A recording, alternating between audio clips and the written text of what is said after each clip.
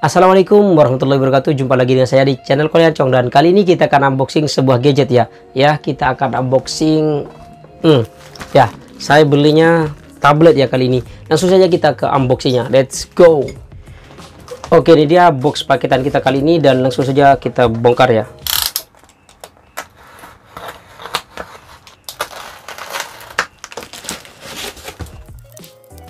Oke, ini dia yang kita beli yaitu Xiaomi Pad 5. Ya, Xiaomi Pad 5 ya. Nah, di sini ada keterangan Mi Xiaomi Pad 5 dan di sini juga ada keterangan Dolby Vision Atmos dan di sini ada tulisan ada tulisan Xiaomi garansi resmi Xiaomi.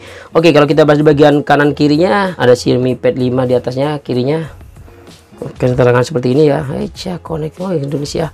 Nah, di bagian bawahnya sama di layarnya sudah WQ HD Plus. Wih sudah 2K ya. Dan 120 Hz dan di sini sudah Dolby Atmos dan di sini ada prosesornya Qualcomm Snapdragon 860 baterainya 8720 mAh dengan 22,5 watt fast charging in box. Oke yang saya ambil ini warnanya putih ya. Hmm, white nih pearl white warnanya. Sini yang varian RAM 6GB internal 256GB hmm, cukup gede sih. Sekarang kita buka dan di sini ada ya paduan singkat dan juga kartu garansi ya.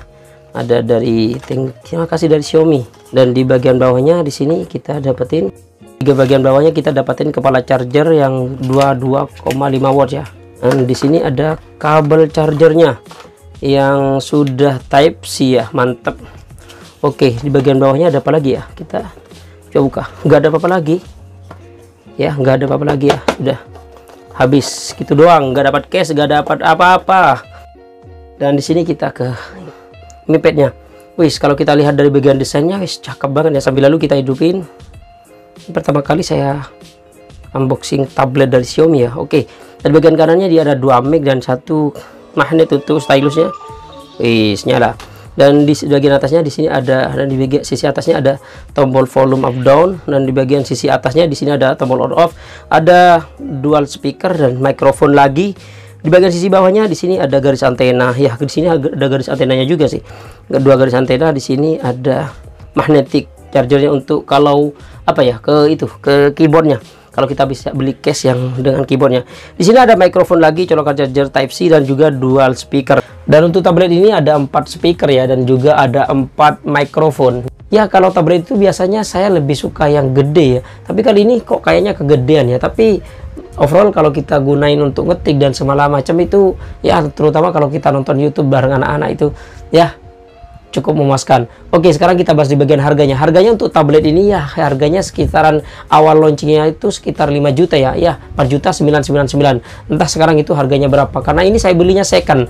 Ya, buat anak-anak dan juga buat saya juga sih kalau ngedit video. Ya buat teman-teman yang selalu nonton channel saya mungkin masih bertanya-tanya untuk ngedit videonya pakai apa bang? Ya saya pakainya smartphone. Dari dulu itu saya dari awal bikin video atau bikin konten di channel ini saya sebenarnya ngedit videonya pakai smartphone.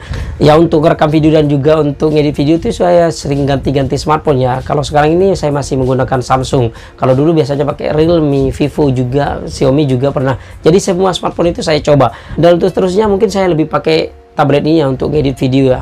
Hmm, ngerekam dari smartphone kita edit dari karena lebih gampang untuk cari detailnya. Sekarang kita bahas di bagian bodinya. Untuk bodi bagian belakangnya ini dia masih menggunakan plastik ya. Tapi framenya ini dia sudah menggunakan aluminium. Yang mana kalau kita karena ini solid banget ya. Oke sekarang kita bahas di bagian sisi-sisinya. Ini bagian sisi-sisinya ini kan agak agak apa lurus datar gitu kayak iPhone ya. Otak ini. Kalau kita sandingkan dengan Infinix malah warnanya mirip banget ya 11-12 ya kayaknya. Dan bagian pinggirnya juga ngotak kayak gitu.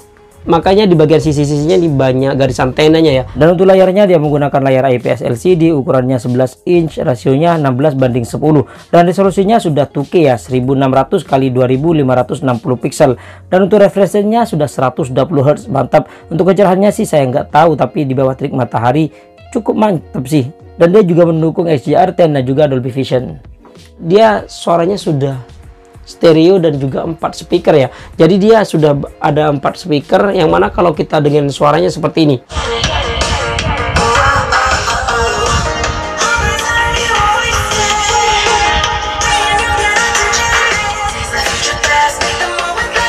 untuk NFC-nya tablet ini nggak ada ya, ya. Karena dia untuk kerja aja kayaknya untuk nonton gitu aja hiburan aja nggak kayak smartphone. Dan sekarang kita bahas di bagian Android-nya. Android-nya dia menggunakan Android 11 interface-nya dia menggunakan MIUI 13 yang mana dia prosesornya sudah ditenagai oleh chipset Snapdragon 860 yang sudah 7 nanometer yang didukung dengan RAM 6GB internal 256 GB dan kalau kita lihat di Antutu benchmarknya dia sudah mencapai 580 ribuan hampir 600 ribuan. Cakep kan Wih, ini tablet dengan kapasitas yang cukup gede ya. Kalau kita beli tablet dari merek-merek sebelah biasanya cuma 128 GB ya. Ini sudah 256 GB. Mantap banget, gede banget ya. Dan untuk sensor-sensornya yang absen cuma beberapa doang. Di sini ada sensor suhu, sensor jarak dekat dan juga sensor tekanan. Itu aja. Yang gyroscope-nya mantap ada. Karena kita lihat hmm, ya gyroscope-nya lumayan sih dan untuk SIM-nya dia nggak ada ya, dia nggak ada slot SIM-nya, dia cuma WiFi only. Jadi buat teman-teman yang pengen tablet yang ada slot SIM-nya untuk dibuat ya internetan atau bisa dibawa ke mana-mana, saya nggak saranin beli tablet ini karena tablet ini punya Xiaomi ini nggak ada slot SIM-nya. Ya jadi saya pakai WiFi ya di rumah saya itu pakai WiFi dan juga kalau keluar saya kalau butuh internet cuma saya hotspotin saja. Saya sudah pakai tablet ini sekitar satu mingguan ya, dan experience saya yang saya dapetin itu wis mantap banget. Dari performanya pas saya coba edit-edit video dan juga ya ekspor video dari KineMaster itu wah, mantap banget, cepat dan juga buat main game cuma dia gyronya nggak responsif ya, kayaknya gyronya cuma software aja. Hmm pas saya main PUBG kayak gitu ya. Dan untuk baterainya tablet ini dia berkapasitas 8720 mAh yang didukung dengan charger katanya sih 33 watt. Tapi pas saya lihat di chargernya kok 22,5 watt ya. Pas saya coba nonton YouTube selama satu jam baterainya ya baterainya berkurang 6% ya. Kok kayak smartphone smartphone biasanya walaupun baterainya sudah badak 8720 mAh kok berkurang 6% seharusnya ekspektasi saya itu paling ya 3% ya ya karena walaupun baterainya besar karena dia konsumsi dayanya juga gede ya. Karena layarnya segede gaban kayak gini. Ini kalau dibandingin dengan smartphone saya itu empat kali lipat ya. Ya empat smartphone. Baterainya 8000 mAh tapi itu semua bisa dikalahkan dengan chargernya yang cukup cepat yaitu chargernya yang ya katanya 33 watt tapi saya lihat di chargernya itu 2,22,5 watt ya. Pas saya coba ngecas selama satu jam dia bertambah 51% itu cukup membantu. Jadi untuk ke 100% itu butuh waktu 2 jaman ya. Kayak kira-kira 2 jam lebih ya biasanya sudah full ya kayak gini. Dan untuk kameranya ya kameranya ini di luar ekspektasi saya. Ternyata cakep banget ya keren banget. Pas awal-awal saya beli tablet ini ya kameranya ya tablet gitu paling asal ada aja. Ternyata ini di luar ekspektasi saya. Ya pas ketika kita coba ngerekam dengan kamera belakang dan kamera depannya yang mana kamera belakangnya itu beresolusi 13 megapiksel aperture f2.0 dan kamera depannya dia beresolusi 8 megapiksel aperture f2.0 pas saya coba ngerekam video ternyata wish kamera depan dan belakangnya ada stabilizernya. Cakep banget. Cuma memang tablet ini kan bukan untuk ngerekam video dan ya bikin konten segala macam ya. Ya cuma asal ada aja. Ya kalau kita lagi presentasi atau lagi kerja atau juga kita lagi seminar dan juga lagi sekolah gitu kita butuh yang namanya kamera bisa pakai kamera ini. Asal ada aja sih awalnya. Ternyata di luar ekspektasiku mantap banget. Videonya bisa ngerekam sampai 4K 30 fps sedangkan untuk fotonya teman-teman bisa lihat sendiri di sini hmm, fitur-fiturnya seperti ini ya. Ada mode malam hari yang cukup membantu menurut saya dan sini ada juga ubah dan untuk kamera dekat depannya ini kalau menurut saya sih kurang enak karena ada di karena tab ini tablet ya. Karena ini berbasis tablet jadi menurut saya kurang enak kalau kita lagi video call seperti ini. Hmm. teman-teman bisa lihat sendiri. Ini kalau saya melihat ke layar ini seakan-akan saya lihatnya kok ke sana ya. Padahal saya lihatnya ke layar.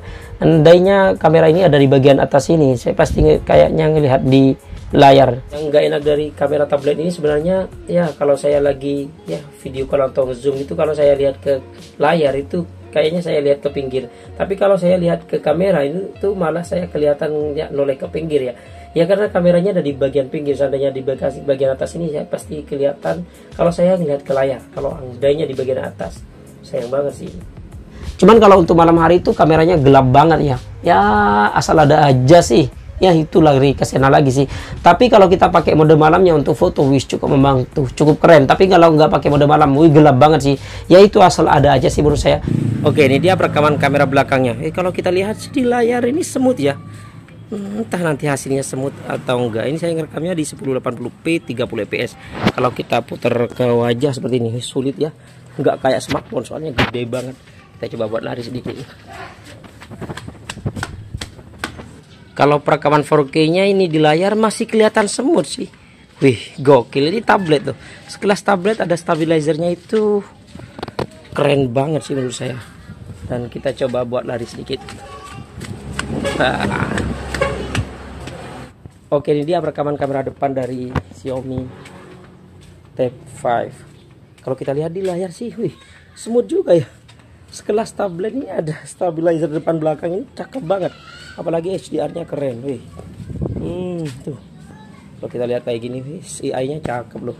Kita coba buat lari sedikit. Keren. Oke ini dia perekaman kamera belakang dari Xiaomi Mi Pad 5 kalau kita lihat gelap banget ya. Aduh. Kalau teman-teman biasa nonton video saya ini pasti tahu ini. Tempat ini biasanya terang tapi ini gelap banget ya. Kalau kita putar ke wajah seperti ini. Ya teman-teman bisa nilai sendiri sih kualitas cahayanya kalau malam-malam kayak gini ya. Oke dan ini dia perekaman kamera depannya dari Xiaomi Mi Pad 5 kalau kita lihat di layar ah ini lumayan terang daripada tadi kamera belakangnya ya.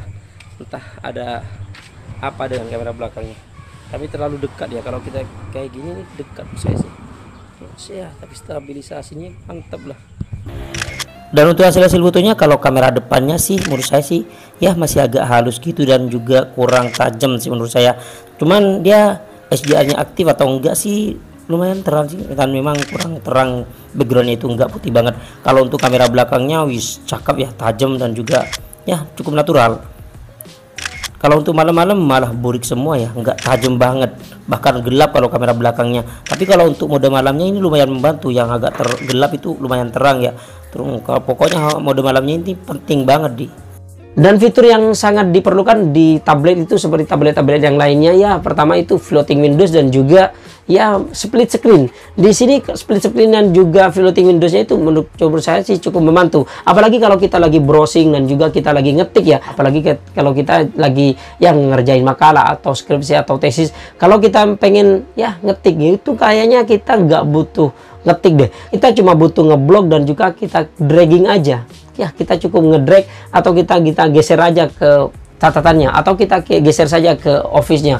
Mantap banget. Itu langsung kita bisa copy paste. Itu cukup membantu ya. Jadi untuk split screen-nya teman-teman ini bisa dual split screen dan juga bisa satu floating windows. Jadi di bagian belakang layar itu bisa dua split screen dan juga floating windows di bagian depannya.